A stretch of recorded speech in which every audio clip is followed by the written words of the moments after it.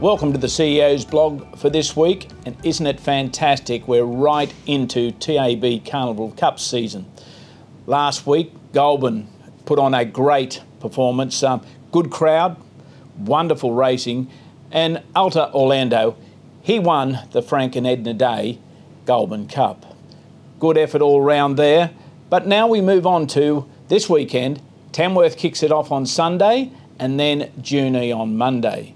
At Tamworth, we see a marvellous Multiquip golden guitar final.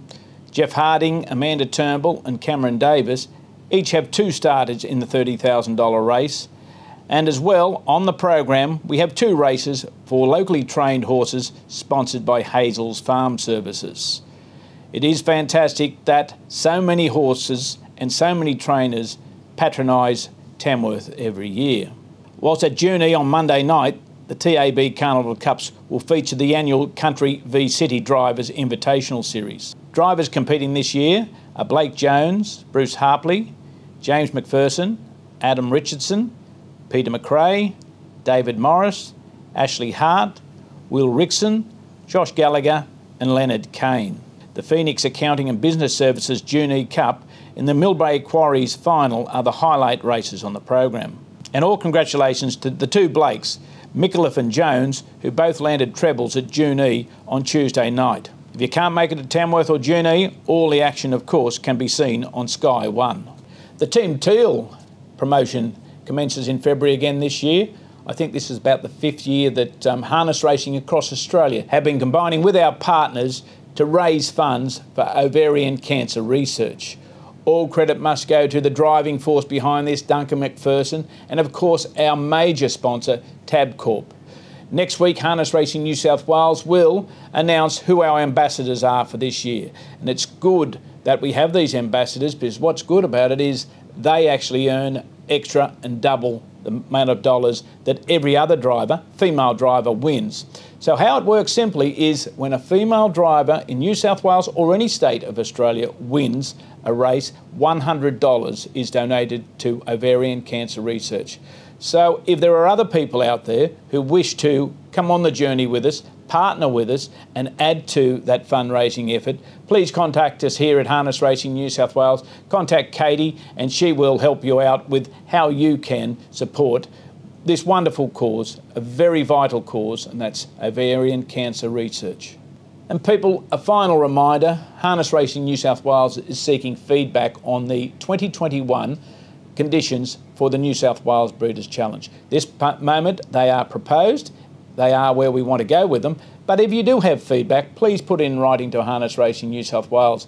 Like I've said previously, you're better being proactive than reactive when we move forward with these marvellous carnivals. Go to our website, have a look at what the conditions are, and if you do want to make a comment, please do it before next Monday.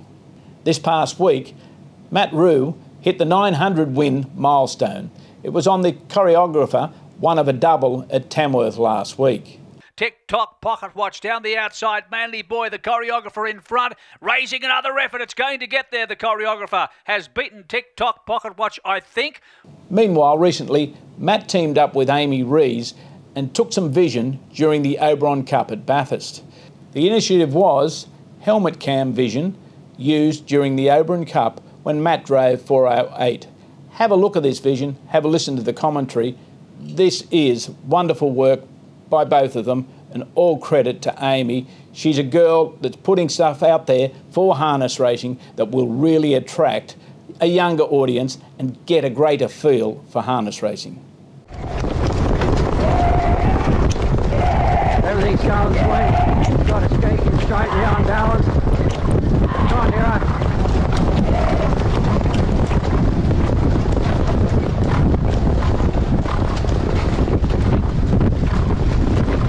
is that If they are only all that been terrific, but we had a great run. Sale season is just about to start. On Sunday week in Brisbane, the first of the APG sales will be held.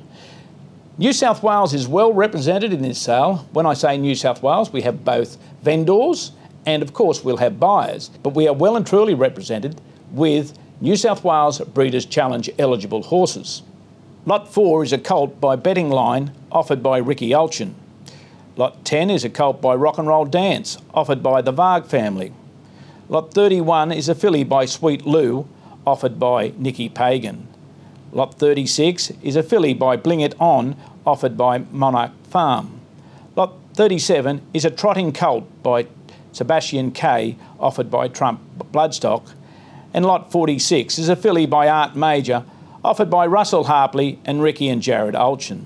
The benefit in buying these yearlings is that they not only can race in the rich New South Wales Breeders' Challenge Series, but they will also be eligible for the Brisbane and Sydney APG races. The Brisbane $100,000 APG graduate race can only be contested by a maximum 50 eligible horses.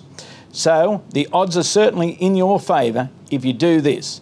Go to Queensland on January 31, buy one of these beautiful yearlings, New South Wales Breeders' Challenge eligible, and race into the future.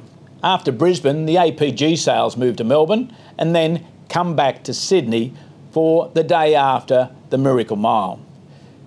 If you don't go to Queensland, there's certainly plenty of horses to buy, New South Wales Breeders' Challenge eligible, in the Sydney sale, and there are a few also in Melbourne. New South Wales Breeders' Challenge offer outstanding prize money, fantastic bonuses, so I strongly encourage you to go and have a look and attempt to buy your future champion. Not too much has changed with COVID 19 protocols in the last week.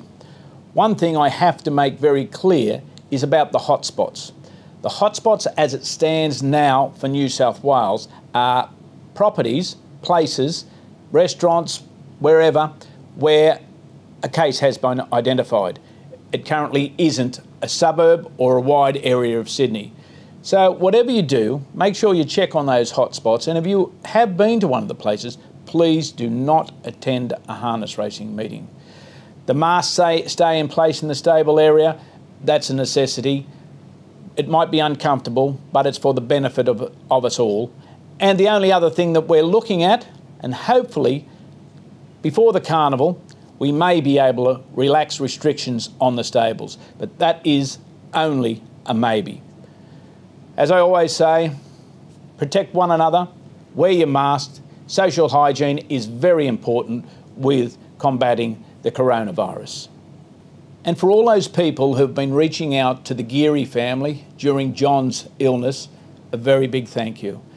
Uh, John, as I said a couple of weeks ago, is, is suffering ill health, and it is really not good for him. So, if you can help um, the family, please do so. Uh, if you think we can do more for the family, please ask. Contact Morris Logue, and he certainly will help uh, out.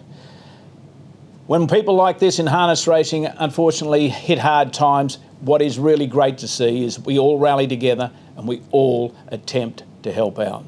So, if we can say anything, can we please say a prayer for John Geary? Well, that's the blog for this week. Uh, I wish you all the best in your racing endeavours. If you can make it to Tamworth, get there. If you can make it to Junee, certainly go there as well. But if you can't, of course, there is plenty of racing on Sky One from New South Wales Harness Racing. As I say, all the best. Enjoy your harness racing. Be positive about our sport and have a great time.